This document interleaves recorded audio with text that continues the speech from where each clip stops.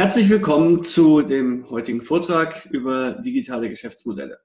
Mein Name ist Thomas Klaus. Ich habe seit Februar diesen Jahres den Lehrstuhl für Corporate Entrepreneurship und Digitalisierung in Familienunternehmen am WIFO hier in Witten inne.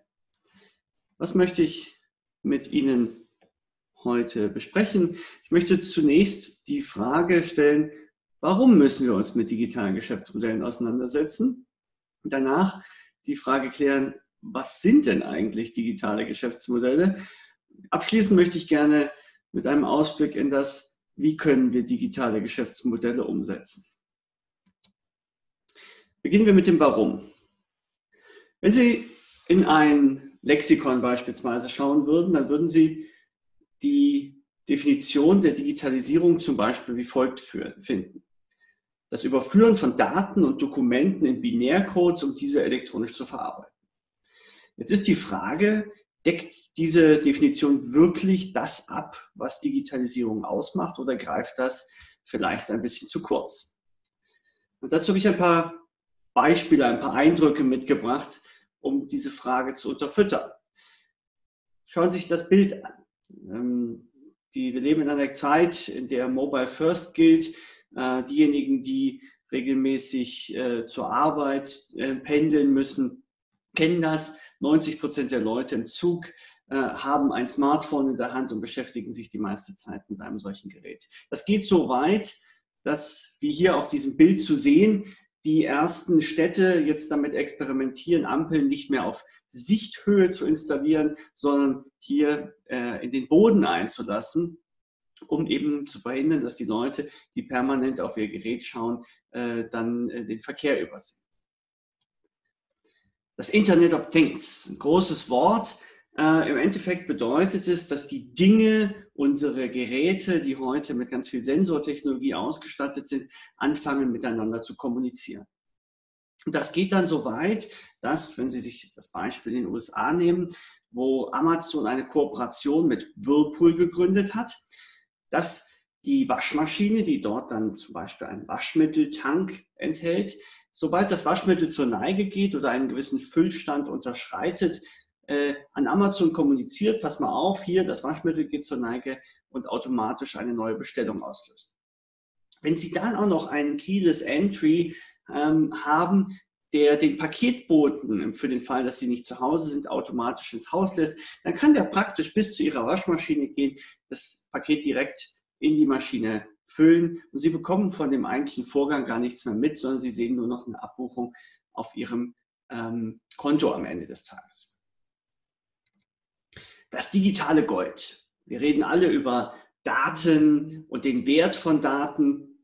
Und es ist natürlich so, dass wir heute auch immer mehr Angebote sehen, die für uns vermeintlich kostenlos sind, aber die sich am Ende über Daten oder die Nutzung von Daten finanzieren. Das geht so weit bis hin zu einem Geschäftsmodell, von dem ich unlängst gehört habe, in dem ähm, zwei Gründer eine neue Fitnessstudio-Kette etablieren möchten, für die sie keinen Benutzerfee mehr zahlen müssen, sondern die sich vollständig darüber finanziert, dass sie als Nutzer während ihres Trainings gefilmt werden, gewisse Trainingsdaten zur Verfügung stellen und mit diesen Daten dann wiederum das Geld verdient wird, um dieses Fitnessstudio zu betreiben.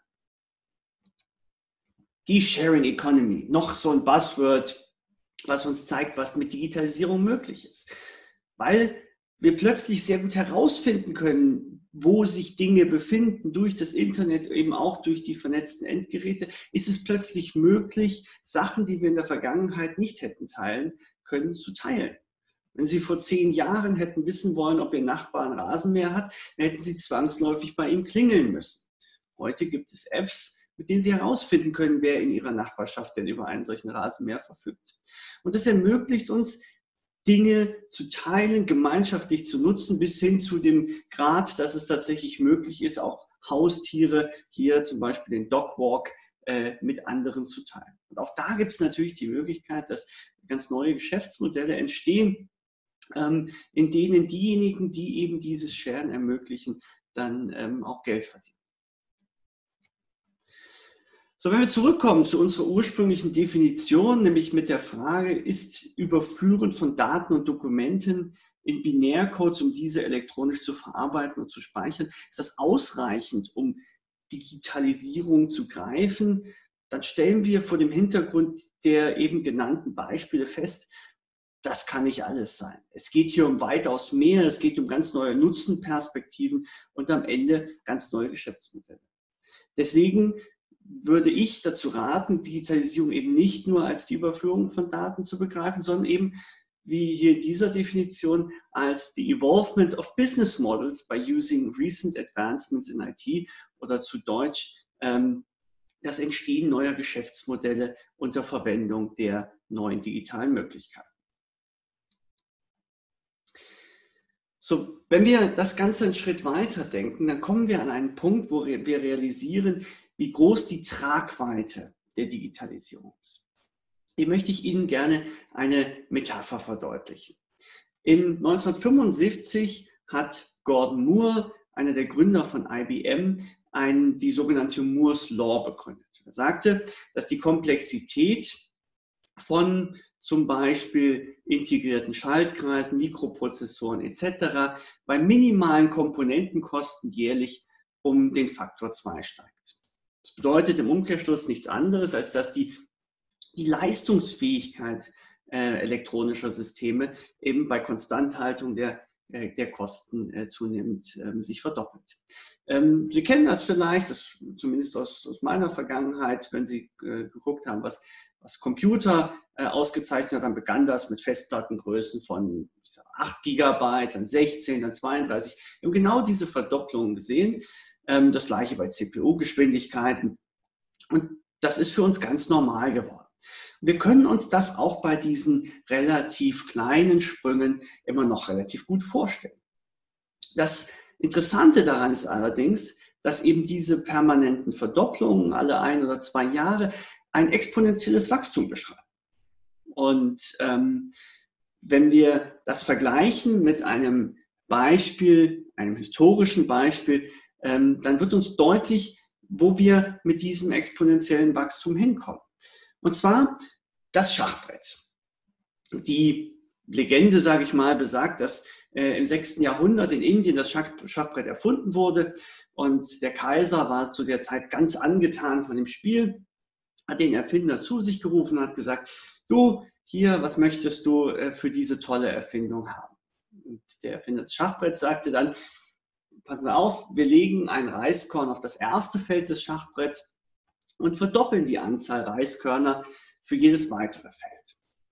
Der König, der kein großer Mathematiker war, hielt das für einen ganz bescheidenen Wunsch und hat gesagt, natürlich, das können wir machen.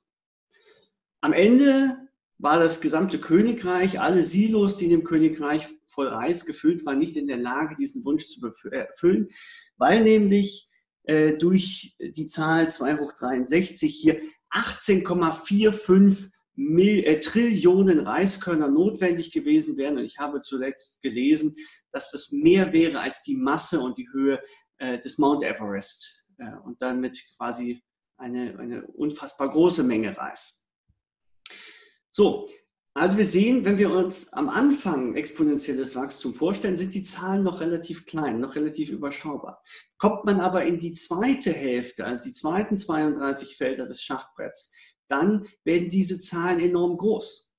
Und das ist jetzt, wenn wir schauen, äh, vor mittlerweile 45 Jahren ähm, wurde diese Mousselon begründet. Dann sind wir jetzt in dieser zweiten Hälfte des Schachbretts, in der die Wachstumsraten der Digitalisierung immer größer werden und plötzlich es für unseren menschlichen begrenzten Verstand gar nicht mehr möglich ist, dort mitzuhalten. Und dann sehen wir plötzlich Dinge wie Roboter, die für uns schon quasi intelligent wirken, ähm, der IBM Watson als Computer, der äh, medizinische Befunde besser hinbekommt als die besten Chirurgen auf dieser Welt. Und naja, wenn wir zu der Metapher zurückkommen, die besten Schachspieler der Welt werden auch schon seit einigen Jahren von Computern geschlagen. Das zeigt, es geht immer schneller voran. Und es wird natürlich auch so weitergehen, ähm, sodass wir jedes Jahr verblüffende Neuerungen im technologischen und Digitalisierungsbereich sehen werden. Und wir müssen irgendwie in der Lage sein, mit diesen auch Schritt zu halten. Woran wird das deutlich? Ähm, ich habe hier zwei Beispiele aus dem technologischen Bereich mitgebracht. Zum einen die Fotografie.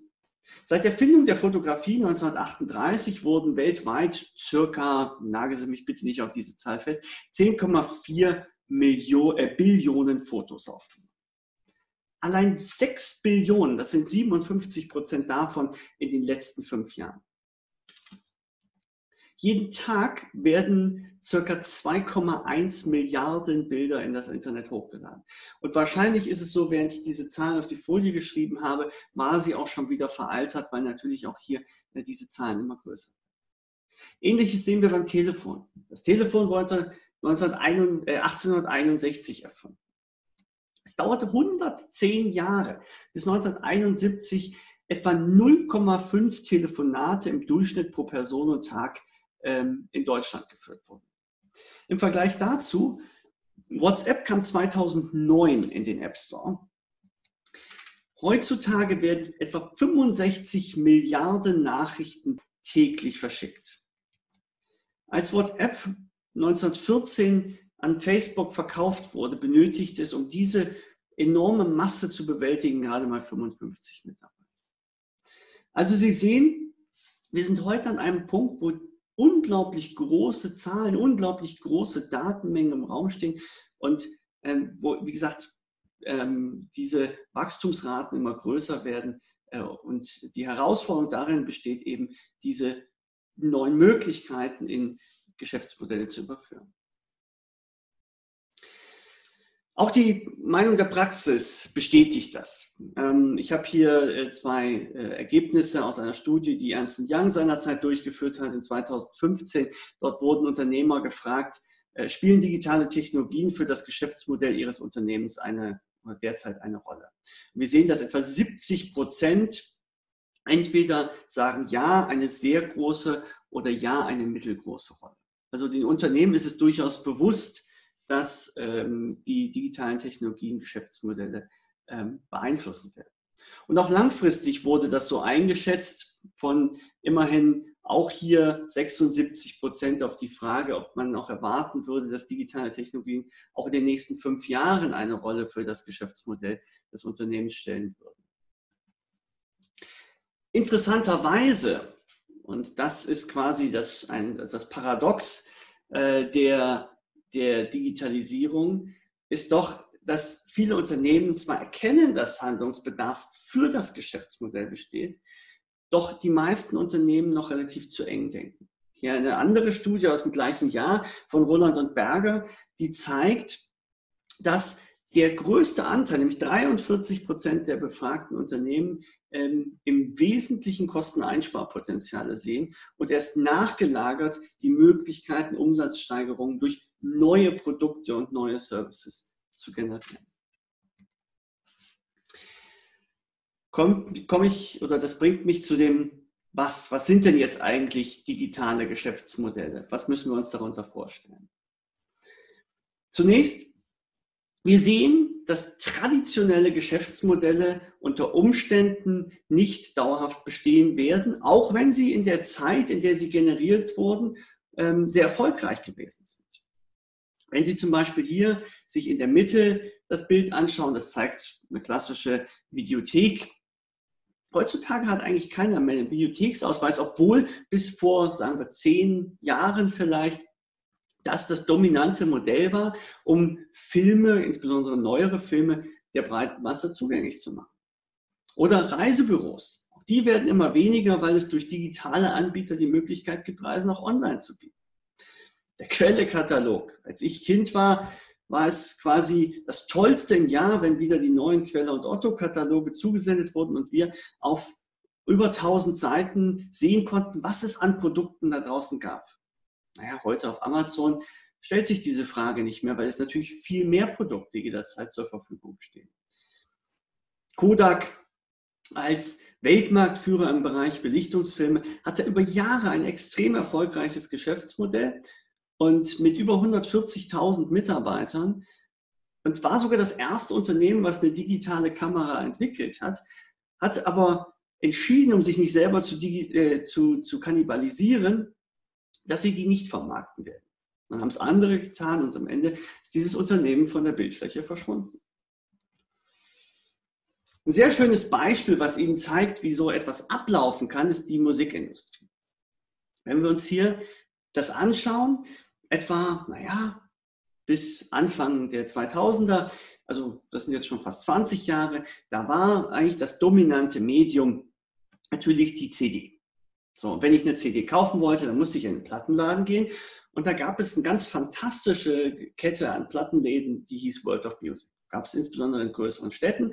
Und bei World of Music, die zeichneten sich deshalb, dadurch aus, dass die eine exzellente persönliche Beratung hatten und dass die alles besorgen konnten, was irgendwie der Markt hergab. Ja, sie konnten da reingehen, hatten ein Lied im Radio gehört und das nur kurz vorgesummt und der Verkäufer hätte erkannt, worum es sich handelt und hätte ihm, ihnen im Zweifel auch noch ähm, ein, eine Empfehlung für weitere äh, Titel machen können. wenn es nicht da war, was sie haben wollten, dann hat man es für sie bestellt und sie hätten es innerhalb von wenigen Tagen wieder abholen können. So, und dann kam ein neuer Player, nämlich Amazon. Amazon gesagt, ja, wir können das Gleiche, aber besser und leistungsfähiger. Nämlich, wir haben einen Algorithmus, der eine Empfehlung aussprechen kann. Und wir schicken das Ganze per Post zu und dann ist das 24-7 bestellbar und kommt relativ schnell auch zu Ihnen nach Hause. Und dann kam ein neuer Player, nämlich Apple iTunes, die gesagt haben, naja, ist es denn überhaupt notwendig, dass ich jetzt eine CD kaufe? Oder kann ich dieses schicke neue MP3-Format vielleicht nutzen, um einzelne Titel zum Download anzubieten? Und auch die Möglichkeit zu geben, eben nicht mehr ganze, das ganze Album kaufen zu müssen. Ist jederzeit verfügbar, kann direkt heruntergeladen werden.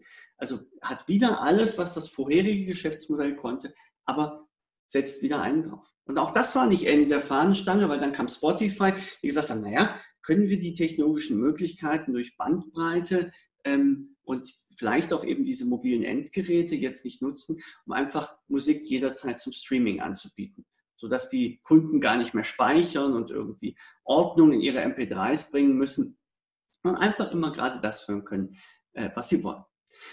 Wenn Sie sich das anschauen, dann ist das Interessante hier, dass sich das Problem des Kunden, der Wunsch, ich möchte Musik hören, und eigentlich auch das Produkt, nämlich Musik, die irgendwie aus dem Lautsprecher kommt, sich überhaupt nicht verändert hat.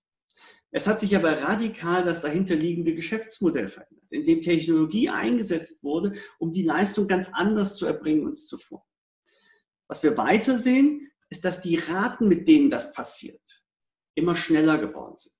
Während am Anfang World of Music noch sehr lange Bestand hatte, über Jahrzehnte, ging danach die äh, Entwicklung immer schneller voran. Und jeweils wurde das vorherige Geschäftsmodell vollständig durch das zuvorige abgelöst. Und es ist wichtig für Unternehmen zu verstehen, dass man hier auch den Sprung machen muss, um noch entsprechend am Ball zu bleiben.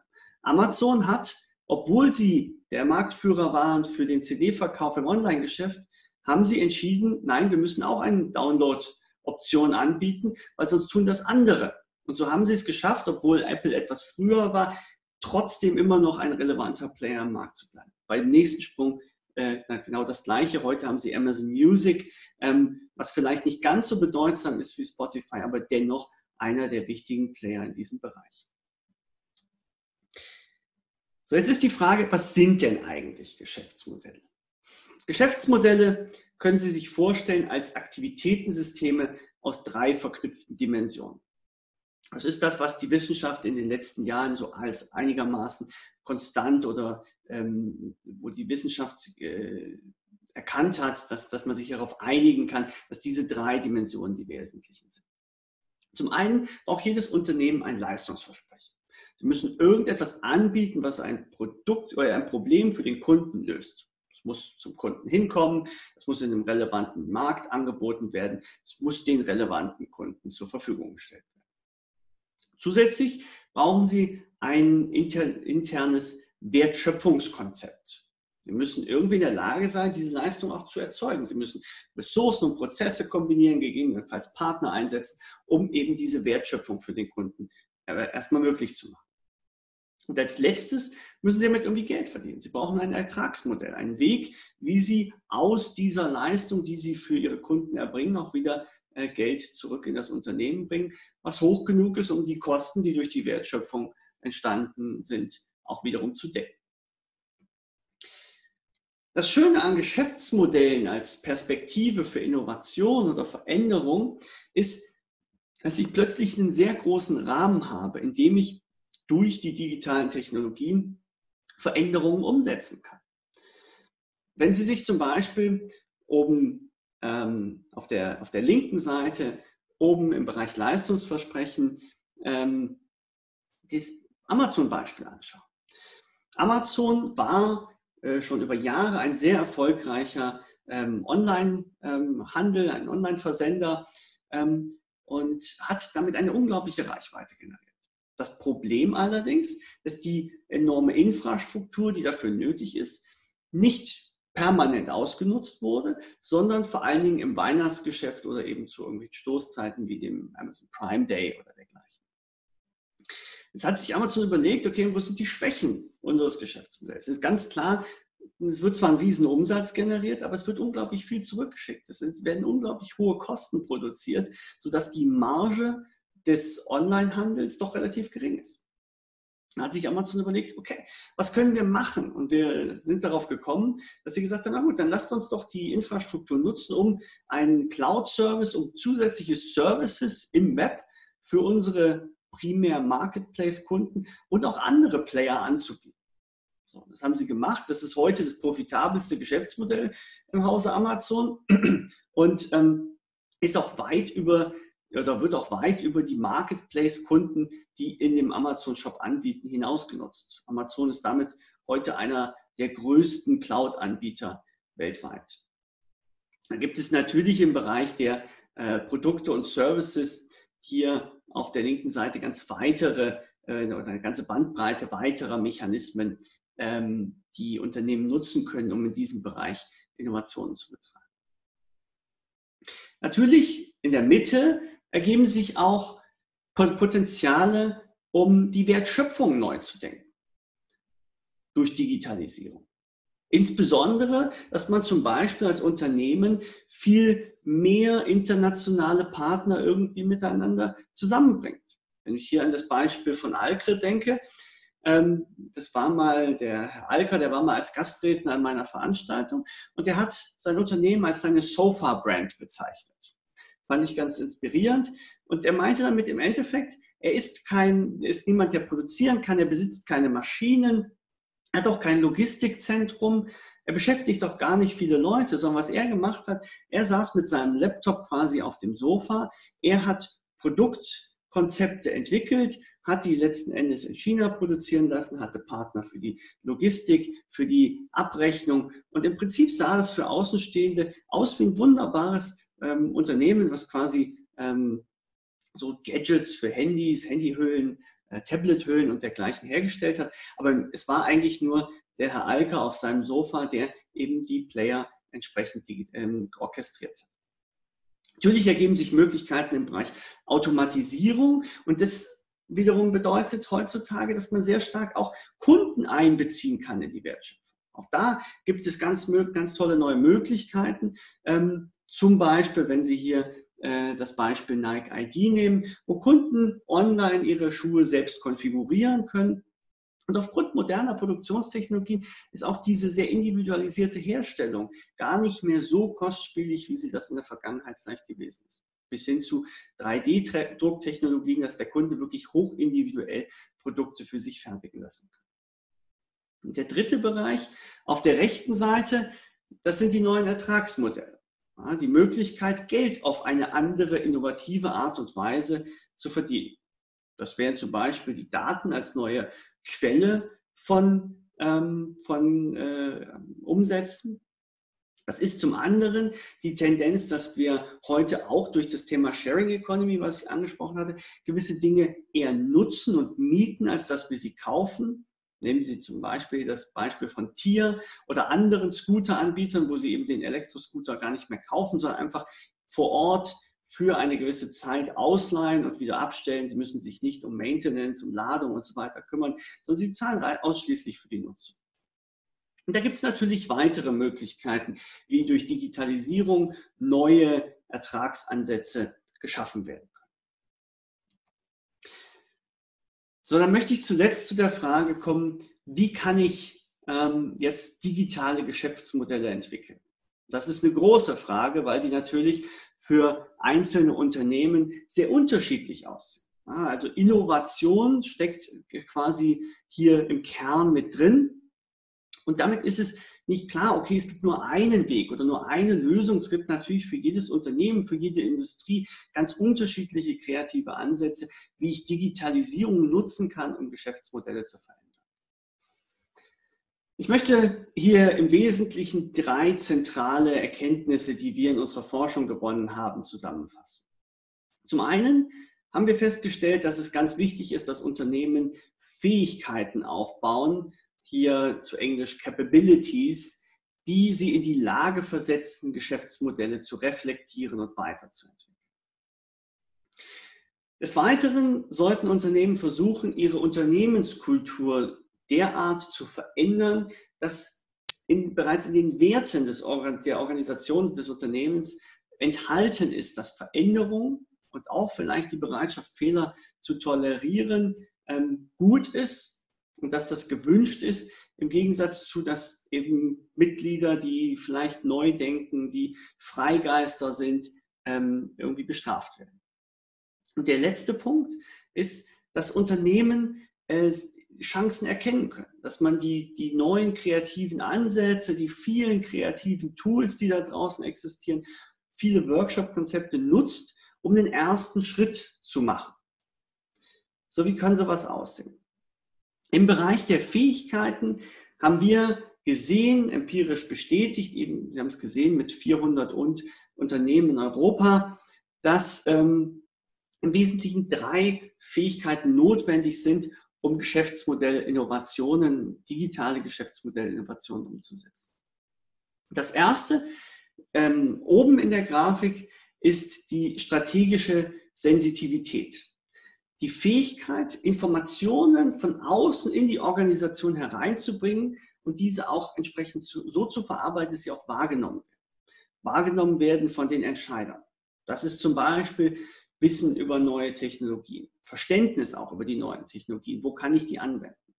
Das beinhaltet ein Benchmarking von meinen äh, Mitbewerbern, aber auch der Blick in fremde Industrie, um zu lernen, okay, wofür kann gegebenenfalls eine Technologie, jetzt sagen wir mal beispielsweise Blockchain oder künstliche Intelligenz, wofür kann sowas eingesetzt werden? wie gesagt, das muss in der Organisation auch weitergetragen werden, dass eben nicht nur die Scouts, die unterwegs sind, davon Kenntnis gewinnen, sondern auch diejenigen, die dann Entscheidungen über potenzielle Verwendungen treffen können. Der zweite Punkt ist die sogenannte Leadership Unity, die Ein Einigkeit ähm, äh, zwischen dem Top-Management. Wir sehen das ganz häufig, dass gerade in größeren Konzernen dann wenn es um radikale Veränderungen, um große Schritte geht, dann geht man Risiken ein. Und diese Risiken, die muss irgendjemand tragen. Und deswegen kommt es häufig, wenn solche Entscheidungen gefällt werden, zu politischen Rangeleien. Da stehen dann eventuell auch einzelne Karrieren auf dem Spiel, sodass gegebenenfalls am Ende eben nicht die große, die notwendige, radikale Entscheidung gefällt wird, sondern eher versucht wird, im Klein-Klein ähm, relativ harmlose Veränderungen umzusetzen. Da sehen wir, das ist ein Problem, weil eben Geschäftsmodellinnovationen, ähm, insbesondere wenn sie radikaler Natur sind, wenn sie irgendwie disruptiv sind, eben Organisationen auch ein Stück weit in Frage stellen. Deswegen hier, das Management muss die Fähigkeit haben, umfangreich und auch teilweise schnell Entscheidungen zu treffen, solche Geschäftsmodellinnovationen umzusetzen. Und der dritte Punkt, der sich dann daraus ergibt, ist die Resource Fluidity, also die Möglichkeiten, die vorhandenen Ressourcen und Kompetenzen so einzusetzen, so zu rekonfigurieren, dass sie eben für die neuen, ähm, neuen Ideen, für die neuen Projekte und Geschäftsmodelle auch eingesetzt werden können. Was insbesondere natürlich in sehr traditionellen Unternehmen häufig ein Problem ist, weil dann hat man eine schöne Idee, hat aber eventuell die notwendigen digitalen Kompetenzen im Unternehmen nicht vorhanden und auf der anderen Seite auch eine Verantwortung gegenüber den Mitarbeitern, die diese digitalen Kompetenzen vielleicht auch nicht mitbringen. Und wie man das entsprechend organisiert, das ist natürlich auch eine Herausforderung, die man in dem Zuge angehen muss. Der zweite Punkt, den ich angesprochen hatte, ist das Thema Kultur. Hier haben wir eine Studie auch unter deutschen äh, kleinen und mittleren Unternehmen durchgeführt. Und wir sehen im Wesentlichen auch hier äh, oder bestätigen diesen, dieses alte, sehr bekannte Zitat von Peter Drucker, der gesagt hat, Culture eats strategy for breakfast. Es ist unglaublich wichtig für Unternehmen, um Geschäftsmodellinnovationen umsetzen zu können, dass sie, äh, wie wir es hier gesehen haben, eine sogenannte neuartigkeitsorientierte oder novelty-oriented ähm, kulturelle Werte haben, die da zum Beispiel wären Flexibilität, Offenheit, offene und interfunktionale Kommunikation und natürlich auch die häufig benannte Fehlertoleranz. Dass eben derjenige Unternehmen, äh, der Wagnisse eingeht, der auch vielleicht abgedrehte Ideen formuliert, dass der nicht bestraft wird, sondern vielleicht sogar noch ein Stück weit gefeiert wird in der Organisation. Dass ich meine Ideen auch nicht für mich behalte, sondern offen mit anderen kommuniziere. Das muss sich natürlich auch in Anreizsystemen in der Organisation widerspiegeln. Demgegenüber auf der unteren linken Seite steht die im Prinzip als Gegenpol die effizienzorientierten kulturellen Werte, die wir häufig gerade klassischen deutschen Maschinenbauunternehmen sehen. Werte wie Qualität, eine Erfolgsorientierung, starke Geschwindigkeit im Sinne von Effizienz. Und wir sehen halt häufig, dass wenn ich Risiken eingehe, wenn ich fehlertolerant bin, wenn ich neue Projekte beginne, dann geht das zu Lasten der kurzfristigen Qualität. Dann geht das auf jeden Fall zu Lasten der Prozesseffizienz. Und somit muss man hier klar sehen, was wird auch in, dem, in der Organisation gefördert und, wie ich sagte, ein Stück weit auch gefeiert, entlohnt. Ähm, weil wenn ich die ganze Zeit nur auf Prozesseffizienz schaue, dann bleibt gegebenenfalls keine Zeit dafür über, ähm, sich neu zu denken und auch kreative neue Wege zu gehen.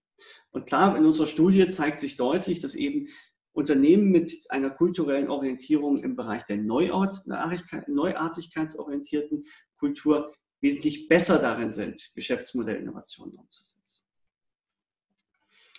Der letzte Tipp, und der ist verhältnismäßig trivial, den ich hier Ihnen mit auf den Weg geben möchte, ist, dass Sie äh, die vorhandenen Tools, und da gibt es draußen jede Menge, da gibt es sehr viele Beratungshäuser, die sich damit auseinandergesetzt haben, ganz viele tolle Bücher, ähm, dass sie diese nutzen.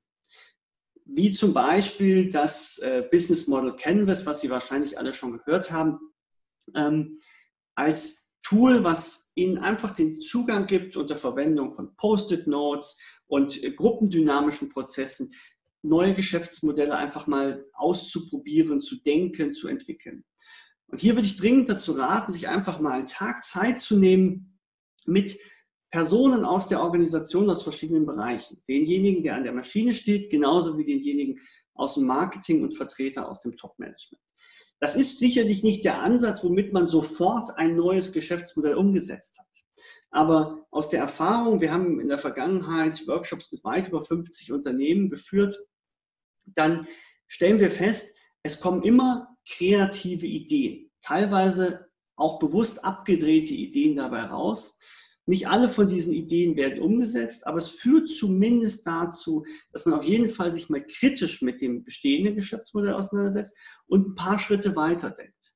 Und eigentlich in allen Fällen wo ich diese Startphase mit betreut habe, habe ich zumindest festgestellt, dass der erste Impuls in Richtung Überwindung des Gaps zwischen dem Knowing und dem Doing, also dem Wissen, dass was zu tun ist, und dem tatsächlichen Anfang, hier mit so einem Kreativansatz möglich wird.